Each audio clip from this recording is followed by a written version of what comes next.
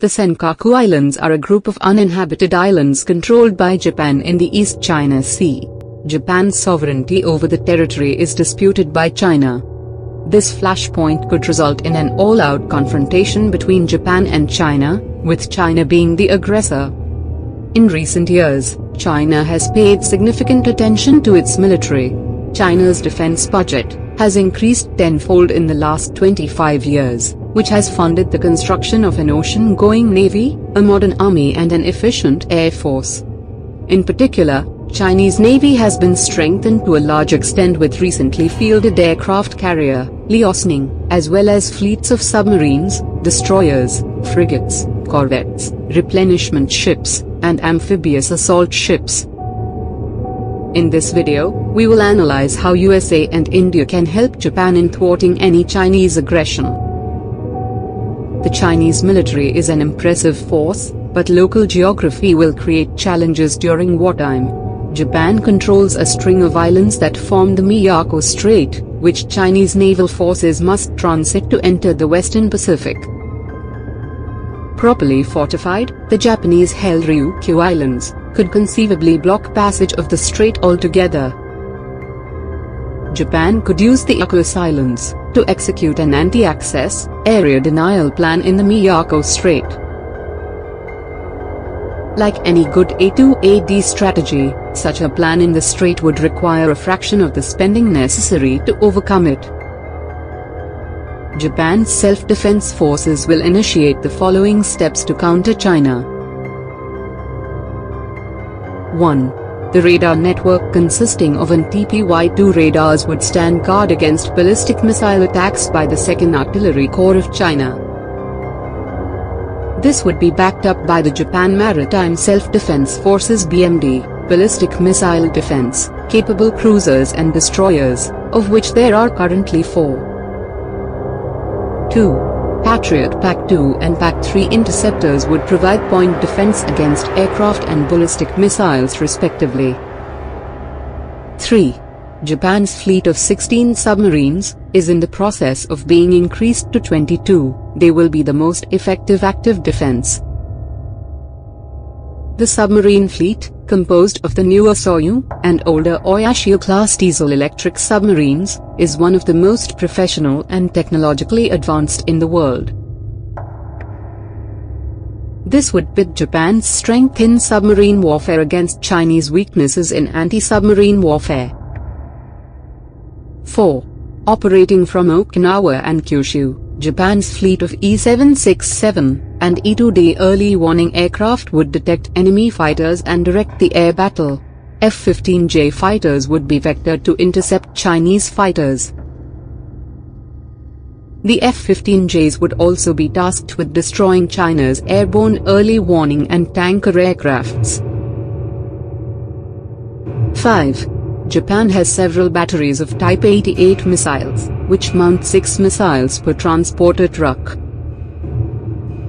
The Type 88 has a range of nearly 100 miles, meaning that missiles mounted on Miyakojima and Okinawa would overlap in range, completely covering the strait. This defensive configuration will be able to absorb the initial Chinese onslaught, and provide enough time to USA and India to get involved.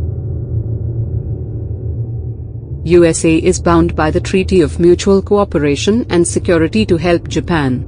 For the convenience of viewers, here is a brief details of the agreement. The treaty was first signed in 1952 and was updated many times after that. Since Japan was disarmed after World War II, USA through this treaty agreed to come to Japan's aid in case Japan was attacked by any other country. Under the treaty, both parties assumed an obligation to maintain and develop their capacities to resist armed attack in common, and to assist each other in case of military attack on territories under Japanese administration. To support that requirement, it provided for the continued presence of U.S. military bases in Japan. The United States Forces Japan, USFJ, is an active subordinate unified command of the United States Pacific Command, USPACOM. USFJ will swing into action and initiate encrypted communication to activate the security protocol. This will set rolling the following. 1. The Pentagon has designed a new strategy for the 21st century, called Air-Sea Battle, a concept that combines air and naval forces to punch through the increasingly formidable defenses of nations like China. 2. An important part of air-sea battle calls for the military to operate from small, bare-bone bases in the Pacific, so that its forces can disperse to in case their main bases are targeted by Chinese ballistic missiles. 3. US will activate its forces in these bases, and send its fighters to defend Japan's airspace. 4. Carrier Strike Group, Commander Fleet Activities Yokosuka, which is based out of Japan will be activated and it will initiate active defensive positioning to counter Chinese Navy and Air Force. 5. US Air Force will send an Airborne Warning and Control System, AWACS, to monitor the skies, and relay minute-by-minute information to Japan and India. 6. Chinese Navy has large number of surface ships as well as submarines. The P-8 Poseidon is developed for the United States Navy by Boeing. It conducts anti-submarine warfare, ASW, anti-surface warfare, ASUW, and shipping interdiction, along with an electronic signals intelligence role. It is equipped with Raytheon APY-10 multi-mission surface search radar, and many other sensors to detect surface and underwater vessels. These will be immediately pressed into action. India has long-standing border dispute with China. India has good relations with Japan. In case of a Chinese attack on Japan, India is not expected to be a mute spectator. Japan's loss is India's loss, as both of them have China as common rival. Also, if China gets away with aggression against Japan, it will become more buoyant and create problems for India. India, USA and Japan share close strategic relation which can be judged by the following. 1. India is participating in Exercise Malabar, a trilateral naval exercise involving the United States and Japan. Originally a bilateral exercise between India and the US, Japan became a permanent partner in 2015. Despite the statement by a top US Navy officer that Malabar was not directly aimed at China, there is very little doubt about who is the target. The exercise is conducted only about 400 kilometers from the contested Senkaku Islands. Scenarios include hunting for Chinese submarines, ships and countering hostile Chinese Navy. 2. India and the United States have agreed in principle to share military logistics. Washington and New Delhi have largely agreed to the terms of a new agreement that allows the two militaries to use each other's land, air and naval bases for resupplies, repair and rest. This has been specifically done, keeping China in mind.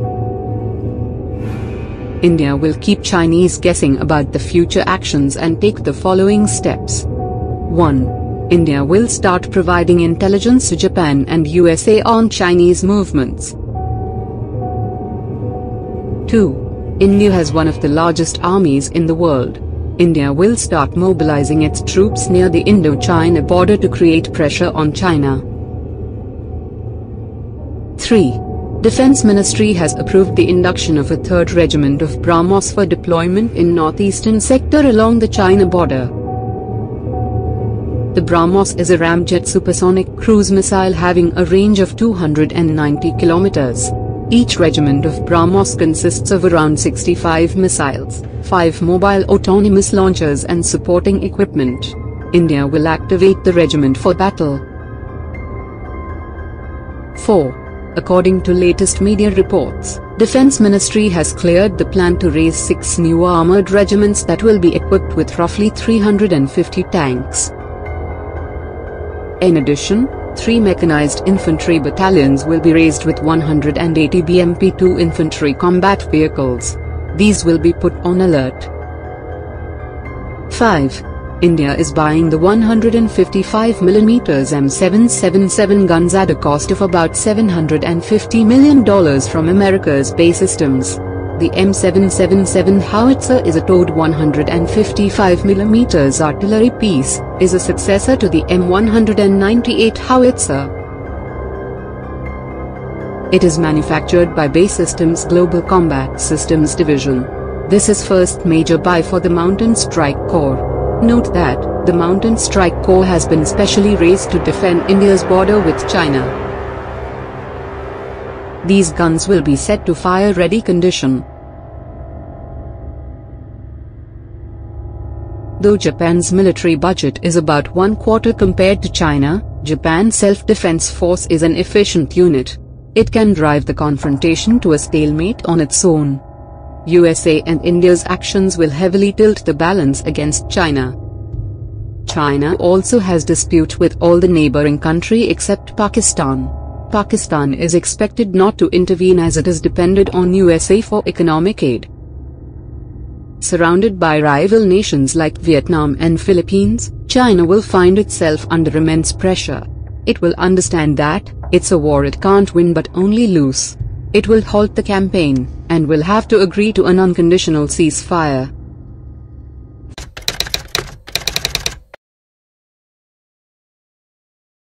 In recent past China has been very aggressive in its posturing, and has shown intent in expanding its spheres of influence.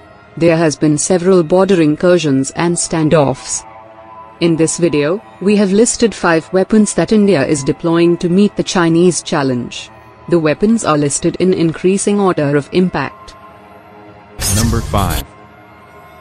India is buying 145 M777 guns at a cost of about $750 million from America's BAE Systems. The M777 howitzer, a towed 155mm artillery piece, is a successor to the M198 howitzer. It is manufactured by BAE Systems Global Combat Systems Division. Under Make in India initiative, the gun's assembly, integration and testing will be shifted to India. This is first major buy for the Mountain Strike Corps. Note that, the Mountain Strike Corps has been specially raised to defend India's border with China. Artillery pieces don't get much limelight when compared to fighter jets or missiles, but are one of the most effective weapons in large-scale wars. They can obliterate armored regiments or infantry divisions, and can block the enemy from capturing territories. The M777 is designed with weight and size in mind. It is lighter than any other 155mm howitzer, having a weight of only 4,100 kilograms. The lighter weight and smaller size allows the M777 to be transported by the C-17 and C-130J aircrafts, CH-47 helicopter as well as trucks with ease. Number 4. Chinese Navy has large number of surface ships as well as submarines. To counter this India has acquired 8 P-8I Poseidon, and has approved further purchase of 4 more which will be delivered next year. P-8I is a customized export variant of the P-8A for the Indian Navy. The P-8 Poseidon is developed for the United States Navy by Boeing. It conducts anti-submarine warfare, anti-surface warfare, and shipping interdiction, along with an electronic signals intelligence ELINT, role. It is equipped with Raytheon APY-10 multi-mission surface search radar, and many other sensors to detect surface and underwater vessels. It carries torpedoes, depth charges, SLAM-ER uh, missiles, Harpoon anti-ship missiles, and other weapons for offensive intervention. Having a combat radius of 2,222 kilometers, it is ideal for patrolling the vast Indian Ocean region and neutralizing enemy vessels. Number 3. BrahMos is the only supersonic cruise missile in the world. It is jointly developed by Russia and India. It has a range of 295 kilometers and travels at speeds of 2.8 to 3 Mach. It can be launched from submarines, ships, aircraft or land. Its speed provides little reaction time to enemy air defenses. Guided by navigation satellites, its own inertial navigation system or independent radars, it can precisely hit its target. India has deployed BrahMos in three platforms, which are as follows. 1. Kolkata-class destroyers is equipped with BrahMos, and will be guided by very powerful MF STARS radar. 2.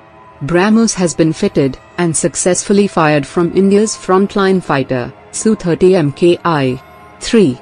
Army is inducting a regiment of land-launched BrahMos in Arunachal Pradesh, along the China border. Chinese do not have a defense against BrahMos. There is only one defense system in the world, known to have high chances of defending against BrahMos, that is, Barak 8, which is jointly developed by India and Israel. Number 2. INS Arihant is the lead ship of India's Arihant class of nuclear-powered ballistic missile submarines.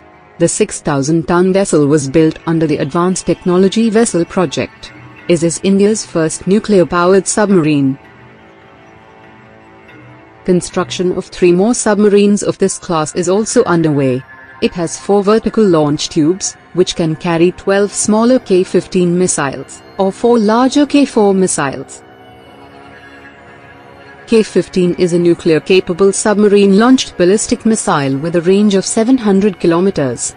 K-4 is an intermediate-range nuclear-capable submarine-launched ballistic missile having an effective range of 3,500 kilometers.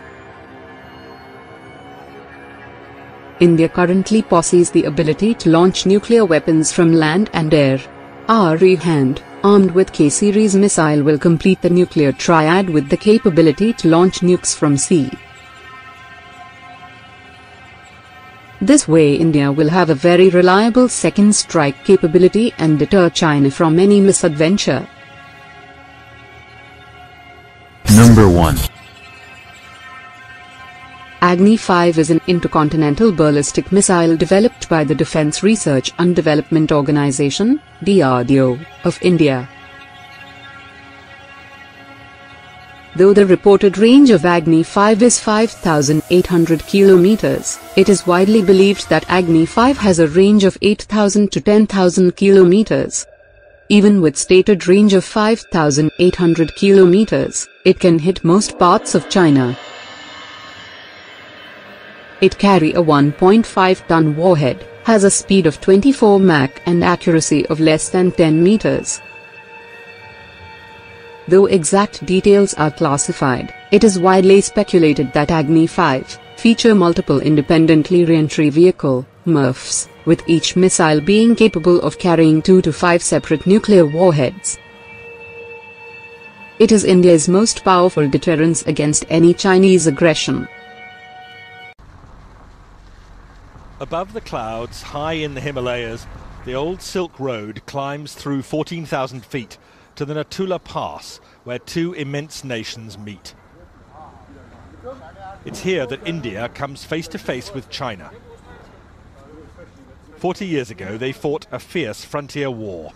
Now, finally, the border is reopening for trade. Symbol of epic change in both countries as they dash for growth and new riches. India and China together will shape much of this century for all of us. But who will be the winners and losers as they race each other to the top of the world? I'm setting off on a journey through China and India to watch the race unfold. First Shanghai and the Chinese sprint from the very start. Welcome to take our baggage train. The airport train pushes through 430 kilometers per hour, 270 miles per hour, for a mere eight minute journey. Impressive, undoubtedly. Vitally needed, hardly. But this train is a political statement. Be amazed, be very amazed by China's rise. Once China decided it wanted the fastest train in the world, there didn't need to be any public discussion. This isn't a democracy. In a one party state, what the government wants, the government gets.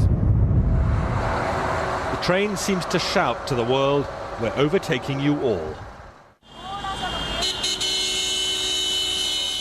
Arriving in India is a very different story. This doesn't immediately look like a country on a dash for growth. A taxi in Mumbai, the country's commercial capital, gives me far too much time for a close up view of slums and jams.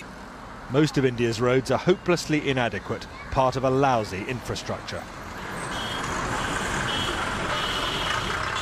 But what's holding India back? Partly it's the need to persuade people in overcrowded areas like this to move out of the path of modernisation. They can't be forced out of the way. It's called democracy. But how does it look to those creating the new wealth? Hi. Nice to meet you. What do you think would suit me? Um, I can do all kinds of shoes. I like these ones. These Yeah. smart. In Shanghai, Billy Wang's handmade shoes tell a powerful tale. Billy took me to his small factory, a tiny but thriving part of China's manufacturing boom. His workers copy from photos their customers' favourite shoes. It's all imitation, not innovation. The business is expanding very fast, like all Chinese manufacturing, and Mr. Wang certainly doesn't question China's system, which helps make him rich. I'm just a shoemaker. I just worry about my shoes. Nothing else matters to me. I just want to make good shoes. How much does your business and your future success depend on China's government? According to the Chinese way of thinking, the political system is decisive. Everything else comes second to this. And that's the message Big Picture China tells you too. In the new Shanghai, with its soaring temples of capitalism, the fast track to wealth has been produced by a rigid political system, communist in name only now.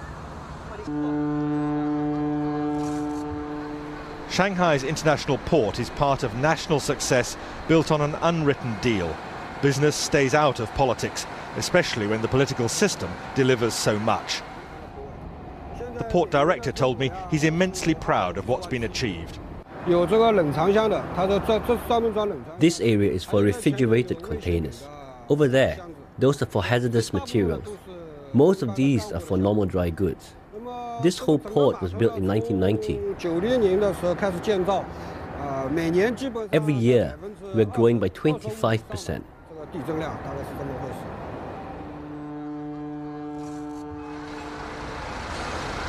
More than that, it's largely one-way traffic here. China doesn't buy much overseas, but produces vast quantities of goods for sale. China's achievement is simply staggering. Single minded, one party government making clear decisions which mean that China dominates the export world. It's staggering to watch this. Containers coming on and off ships simultaneously, most of them coming into China empty, most of them going out crammed with Chinese exports. This isn't something that should worry just India, it worries economies across the world. A huge trade imbalance. Basically, we have a lot of uh, construction going on right now just before the monsoons. But in India, young risk takers are not dismayed by China's success. The story of Tarun Tadani in Mumbai is typical. All our, all our designs are basically finalized. All our designs- Tarun is a man in a hurry to share in India's consumer boom, happening now. Tarun, still only 22, cut short studies in America to create this fashion accessories business.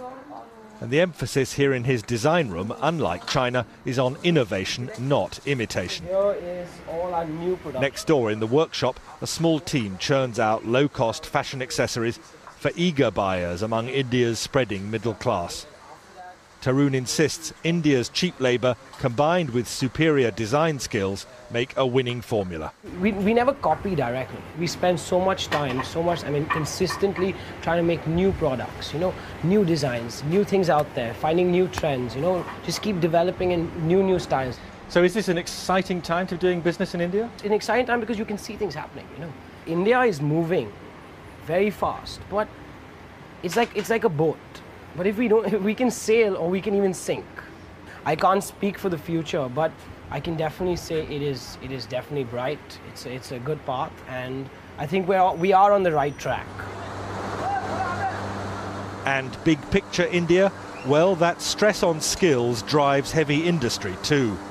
Here at Mukand Steel, they can't compete with China's bulk bog standard production.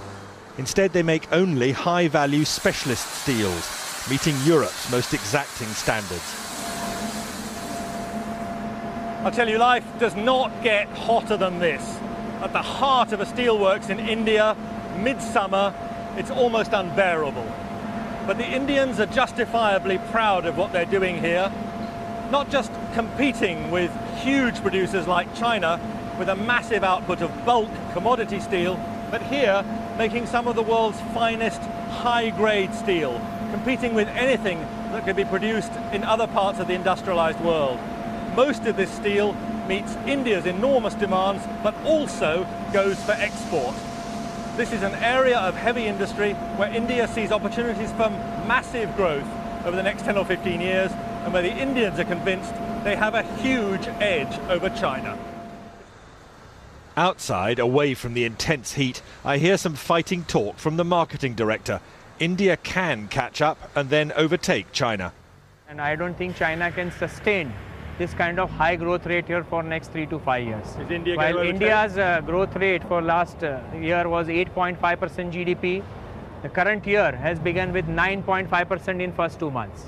And I think as we go along, we see acceleration of the growth rate as all the industry segments are Gna and fighting poverty means giving children skills which could lift them to jobs inside India's urban led boom. An escape route from very low wages working the land. What would you spend it on? As it is, the headmaster sometimes despairs at the risk of perpetual poverty here. Resources, because uh, uneducated parents, uh, they are not sending their children uh, properly to the school. Uh, absentees, uh, their uh, children absentees, one, they are at least continually, continuously, nearly 10 to 15 days they are absenting. By that way, will not understand uh, lessons properly. But if they get better educated, will that give them a different chance in life than their parents? I mean, is the future for them better? Definitely, sir. definitely. Now look at this. Still India, but the contrast could hardly be more extreme. This is the breath-catching campus in Bangalore of Infosys, India's own homegrown software giant, and a major contributor to India's explosive growth. We have a faculty of 180 people who are faculties in computer science. This is possibly the largest computer science faculty anywhere in the world. Mohandas Pai, Infosys director, is showing me a vision of India's future. And the biggest emphasis of all here, no question, it's on teaching. Taking the highest achievers among India's college leavers to even greater heights. They see no limits to the country's future or their own. I want to leave a mark. I'm looking at making a difference somewhere down the line. It's not like everything is already done. So there is there's so much that's yet to be discovered, there's yet to be tapped. So that way there's there's a lot of scope to make a difference. Is this an Number 5. Since 1970s lot of progress have been made in SAM, surface-to-air missile, technology. SAMs play a very important role of anti-area slash access denial. Any area defended by a modern SAM, like S-400, is very hard to penetrate, even by the most technologically advanced aircrafts. These systems are also economically more viable, as a missile costing $0.2 to $0.8 million can take out a 30 to $50 million plane. To defeat these systems, a new category of air-to-land missile have been developed, they are designated as anti-radiation missile, ARM. They are commonly carried by special aircrafts in, SEAD role. Currently only a handful of countries, like the US, Germany, Russia and Brazil have built this kind of missile. Number 4. All SAM need radars for targeting.